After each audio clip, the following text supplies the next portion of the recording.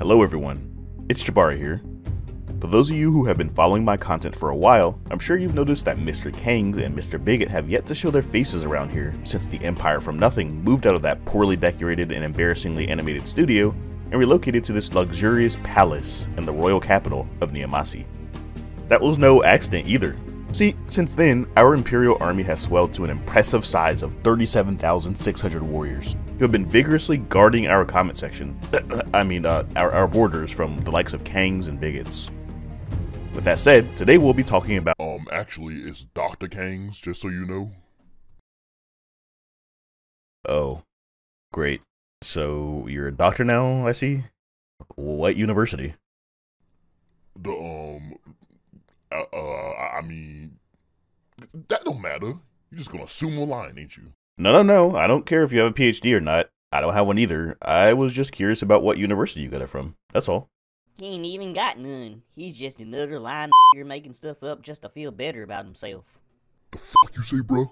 You heard me, boy. Y'all always claiming y'all got to the Americas before the white man and shit. That's cause we did, bro. But the white man always just lying and hiding the truth. Pff, y'all primitive black negroids didn't even know how to build boats at all. Until the white man showed up and you're telling me y'all discovered the Americas? Whoa, whoa, whoa, whoa, hold on, hold on, hold on. First of all, how did you guys get past the guards? And uh, secondly, you guys are both so wrong, and I'm gonna tell you why right now. well, at least they're outside of the palace instead of inside of here with me. So firstly, I'll give a disclaimer that we do not know if Africans ever sailed to the Americas in pre-Columbian times, because all indicators of any such voyage are anecdotal at best.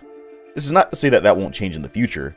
After all, we had no conclusive evidence of Viking settlements in the Americas until the middle of the 20th century, despite the fact that Viking voyages predated Columbus's by nearly 500 years.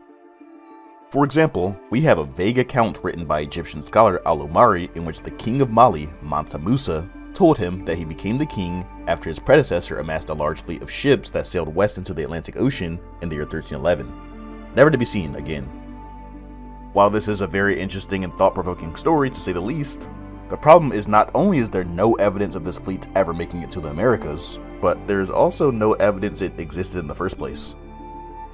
Additionally, the Mali and Songhai empires as well as most Islamic caliphates throughout world history were notorious for royal intrigue, perpetuated by rivaling princes due to the presence of polygamy in Islamic culture. That being said, it was very common for newly crowned kings to make up stories or justifications for attaining the throne after civil wars or coups over their brothers.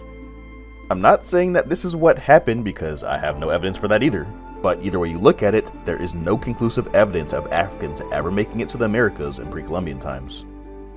Then you have sculptures like Olmecs that show superficial Africanoid features, and again, it's anecdotal. I could just as easily find sculptures in West Africa that date back to the 13th century that look similar to Chinese people, but there's no evidence that the Chinese ever sailed to West Africa during those times. A sculpture that just so happens to look like a particular race is going to do nothing more than frustrate any logical conclusions that you could ever hope to draw. And as for you, Mr. Bigot, the assumption that Africans were primitive squatting in the mud without any idea or concept of lands across the water is terribly wrong. While I could offer you a pile of evidence to the contrary, perhaps the most excellent example of this is the Swahili culture. The Swahili people were involved in a trade network that stretched across the Indian Ocean. It is referred to by some actually as the Silk Road of the Sea. And no, they weren't just one tiny link of short distance merchants in the chain of trade.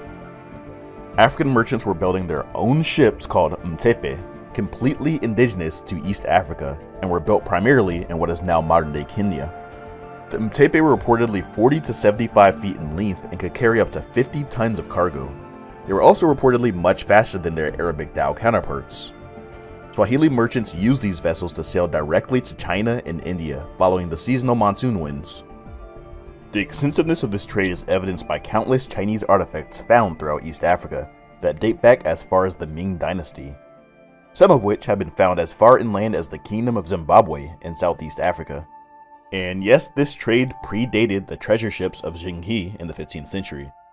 There are even African diaspora groups in India to present day known as the Sidi people, and around 1489, they even founded their own kingdom in India.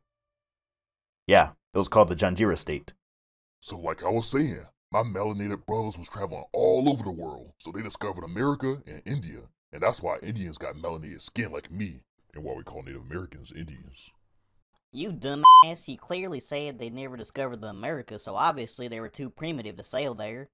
Unless they were floating on old logs or some shit. And this is why racist people, whether they are black or white, think the way they do about African history. Confirmation bias. It is important to approach history in an accurate and objective manner and remove personal biases. Confirmation bias will result in nothing more than ignoring all the facts that don't line up with what you personally want to believe. This is a very normal behavior among human populations, notably in areas that involve religious beliefs.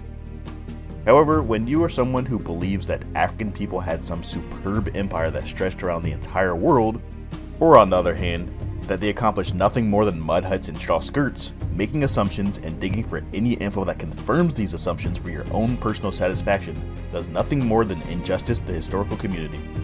These biased beliefs, whether they be the negative ones perpetuated by Mr. Bigot or the overly embellished ones perpetuated by Dr. Kangs, they are nothing more than two sides of the same coin. Hey, shut the fuck up, nigga. You know what, Kangs? That's something I can actually agree on you with for once. I'm sick of this know-it-all preaching his nonsense. anyway, uh, if you enjoyed this skit and you would like to see more of them, leave me a like, a comment, and subscribe to my channel if you're not already. For sources, check out my website, linked below. If you'd like to support future projects, you can do so there as well, or by clicking the join button below, or by becoming a patron. I hope you all enjoyed the video, thanks for watching as usual, and always remember, we don't come from nothing.